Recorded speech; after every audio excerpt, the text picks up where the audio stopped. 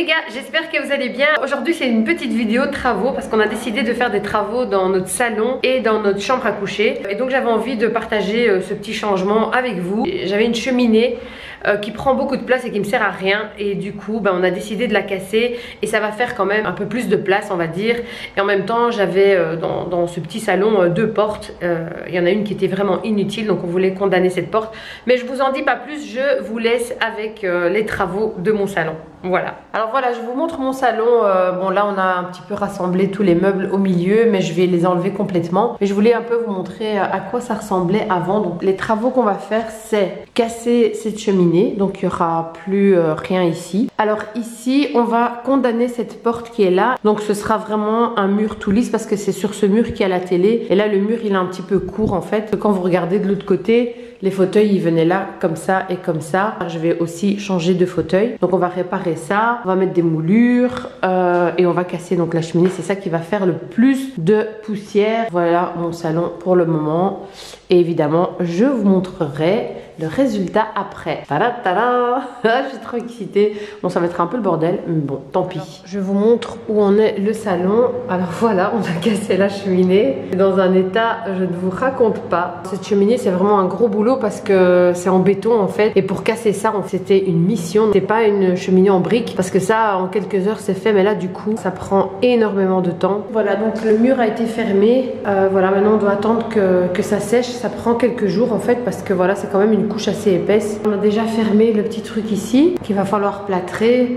Enfin voilà, il y a encore pas mal de boulot, enfin surtout cette cheminée qui, prend énormément de temps. Voilà, on est déjà le troisième jour et euh, voilà, enfin ma chambre est finie, c'est déjà ça.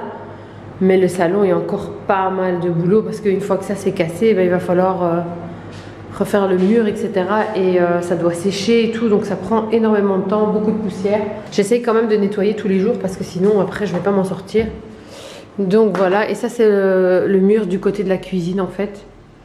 Donc là vous voyez, euh, ça sèche, mais bon voilà, ça prend du temps. Alors je vous montre un peu ma chambre à coucher parce qu'on a aussi fait repeindre la chambre. Je sais pas si ça se voit à la caméra, mais en fait on a peint... Euh, deux murs en blanc et le reste en vert haut. On a aussi refait les plaintes. Enfin voilà, c'est en train de sécher. Ça c'est pratiquement fini. Alors voilà l'évolution du salon. La cheminée est enfin cassée. Voilà, on commence tout doucement à fermer euh, la cheminée avec des plaques de Gyproc. On a enfin pu casser cette cheminée. Mais quel truc de dingue. Sinon à part la cheminée, bah, il n'y a pas grand chose de, faire à part les moulures ici.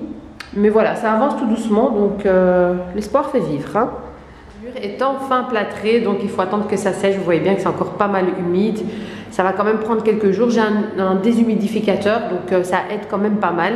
Alors, il y a aussi le carrelage qui a été posé ici. Comme on a cassé la cheminée, bah, du coup, il manquait euh, euh, du carrelage. Heureusement, on avait encore juste 13 pièces parce qu'il faut quand même savoir que on a posé ce carrelage il y a quand même euh, peut-être 5 ans. Alors voilà, travaux toujours pas finis. Alors qu'est-ce qu'on a encore fait depuis? Ben, Il y a les joints des, carrelages qui ont été faits, les chauffages qui ont été peints. On a aussi déjà mis une première couche de la couleur qui a l'air pas mal du tout. Mais euh, voilà, on a aussi mis les plaintes. Mais c'est loin d'être terminé. Alors voilà, il n'y a plus de cheminée. Hein, vous vous rappelez, la cheminée était là. Excusez-moi, j'ai des gants parce que je suis en train de nettoyer. Ben, la porte n'est plus là. Ça paraît beaucoup plus grand, beaucoup plus propre. Alors ça, c'est une table que j'ai depuis quelques années, mais on l'a poncée et revernie. Du coup, elle a l'air toute neuve. Je suis trop contente. Alors ça, ce sont des tout nouveaux fauteuils Ikea.